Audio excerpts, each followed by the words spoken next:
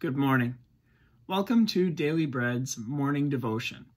As we meditate on the Word of God today, we turn to the devotion that the Wisconsin Synod sends out, which is based on John 11, verse 17, which reads On his arrival, Jesus found that Lazarus had already been in the tomb for four days. Our devotion today is entitled A Glorious Plan.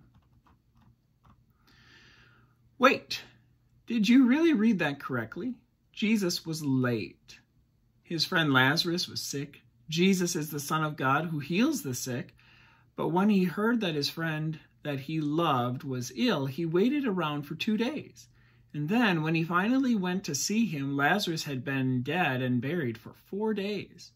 Why did Jesus let Lazarus die? The obvious answer is that he had a plan. Yet, that seems like the kind of trite cliche that we share when we don't know what else to say. You've probably heard it. Whenever life takes a turn for the worse, people are likely to say that God has a plan. It's true that He does, but often we can't see God's plan. Can you imagine the frustration of Martha and her sister Mary as they waited for Jesus and watched their brother die?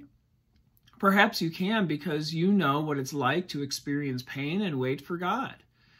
When life is awful, God's plan does not always make sense.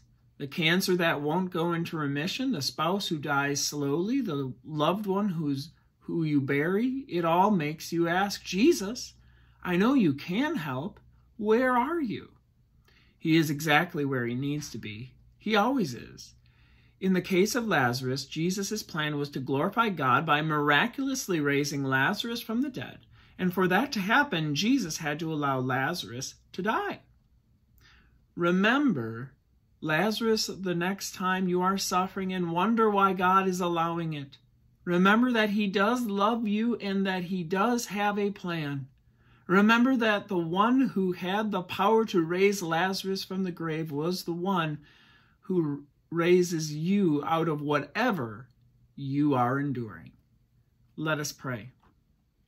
Lord Jesus, give me strength in my troubles and faith in your glorious plan.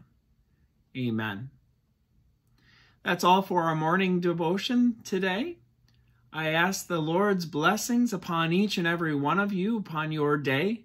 May you be productive and may you have a beautiful and wonderful day and we look forward to Pastor Ernest's devotion this evening. God's blessings to you all.